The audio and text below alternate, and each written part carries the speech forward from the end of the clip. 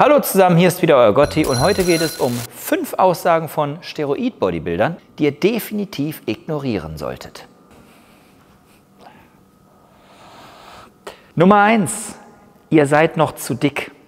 Ihr habt noch zu viel Fett. Da ist noch ein bisschen zu viel drüber.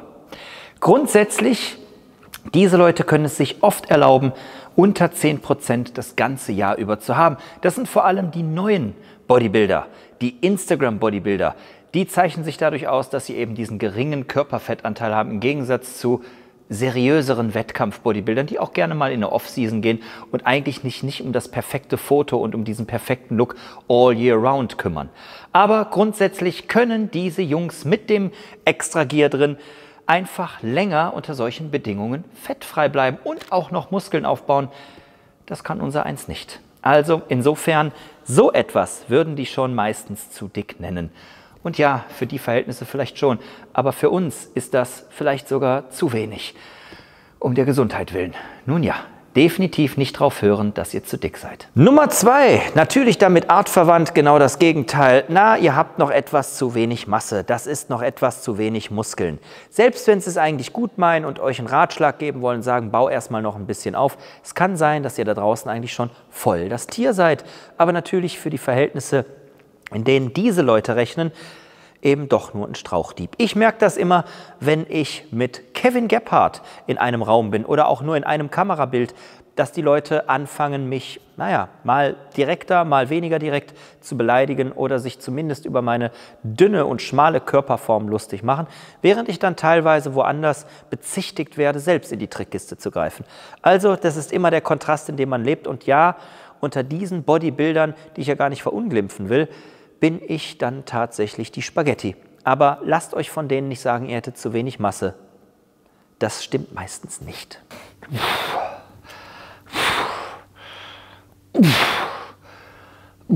Oh, 20. Und damit meine ich nicht Wiederholung, sondern Sätze. Das solltet ihr auch nicht unbedingt glauben.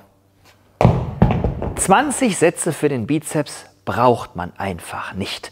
Das Volumen, das diese Bodybuilder drauf haben oder zumindest auch ableisten können, selbst wenn sie es nicht immer alle tun. Wenn sie nun mal die Suppe der Weisheit mit Löffeln gegessen haben statt mit Gabeln, dann wissen sie, dass sie das auch gar nicht nötig haben. Aber sie können einen unglaublichen Workload bewältigen, den wir einfach nicht bewältigen können. Wir sind meistens schon kaputt nach sechs bis sieben Sätzen, wenn wir es richtig machen. Aber zehn Sätze, 15 Sätze für die Arme ist nicht nötig, weder für Trizeps noch für Bizeps. Und wenn die euch auch ganz nebenbei mal erzählen wollen, na, du brauchst noch ein bisschen mehr innen oder außen, die meisten von uns kommen nicht so weit von der Masse, dass sie innen und außen unterscheiden können oder dergleichen. Der Arm wird immer gleich aussehen. Und wenn ihr euer ganzes Leben lang SZ-Curls macht und nichts anderes, ich bin mir ziemlich sicher, der Arm wäre zum Verwechseln ähnlich und würde ziemlich ähnlich aussehen. Also lasst euch auch davon nicht beirren. So viele Sätze braucht ihr nicht dafür, so viel Formen könnt ihr gar nicht.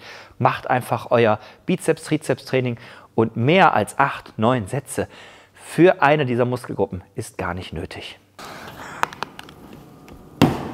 Ihr braucht mehr Protein. Drei bis vier Gramm pro Kilo Körpergewicht sollten es schon sein. Also ab 300 Gramm geht's los. Das sind Aussagen, nun ja, die sind zwar auch ein bisschen oldschool, aber durchaus, wenn man richtig zugedröhnt ist, dann kann es auch gar nicht mal schaden, mehr Protein zu haben bei der Proteinsynthese, die da angekuppelt wird. Davon können wir aber nur träumen und mit zwei Gramm sind wir eigentlich richtig gut beraten. Mehr braucht es eigentlich nicht und deswegen zwei Gramm pro Kilo Körpergewicht und das Ganze läuft. Oh, ich sag mal, wenn du das jetzt so ein halbes Jahr lang machst, dann wirst du so und so aussehen. So oder so ähnlich lauten die Einschätzungen, wenn ihr mal fragt, wie lange werde ich brauchen, um den entsprechenden Erfolg zu haben um so und so auszusehen, so und so viel zu drücken. Aber bei den Zeitangaben können die Menschen, die vor allem schon lange on sind, einfach nicht mehr so richtig objektiv sein. Gut, habt ihr einen Personal Trainer darunter, der auch mal Klienten hat, die nicht in die Trickkiste greifen, dann geht das vielleicht doch. Aber die meisten haben ein sehr verschobenes Bild davon, was zu erreichen ist und wie lange es doch dauert und wie langwierig das Ganze ist, wenn man das Ganze natural erreicht. Ja, in den ersten ein, zwei Jahren kann man ganz schöne Unterschiede sehen, aber dann wird es auch schon knapp. Und je nach Veranlagung kann es auch schon vorher ziemlich mau aussehen, beziehungsweise wenn man eine super Genetik hat, kann man auch in den ersten drei, vier Jahren etwas mehr aufbauen, aber das kommt bei weitem, bei weitem, bei weitem nicht ran an dem, was man mit Zusätzen erreichen kann. Und das soll ja natürlich gar keine Werbung dafür sein, aber es ist nun mal einfach eine komplett andere Welt. Deswegen nicht danach richten und bloß nicht fragen, wann ihr was erreichen könnt oder zu erwarten habt.